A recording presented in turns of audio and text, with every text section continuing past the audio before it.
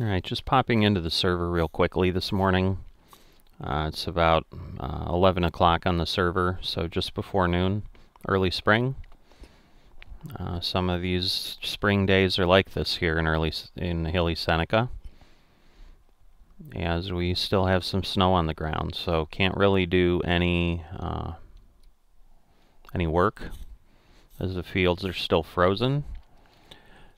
But what I'm going to be planning for this year is I'm going to get that cotton and tobacco back in, which I can't do for at least two days, aside from the temperature. So uh, I think last year I wasn't able to plant till summer 1 because I think the soil temperature still hadn't gotten up to 61. We might have the same issue this year given the temperature and ground still being at, I think, 27 today. And then we'll get another crop in on all the other fields.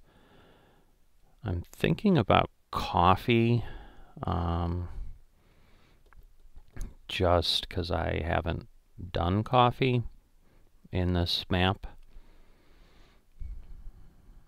But uh, I think I'm going to look at the crop rotation. So when we connect back up, I won't bore you with my thinking at this point because it might take a little while, but I'll fill you in on what we've decided to do when we can get in here and do some work.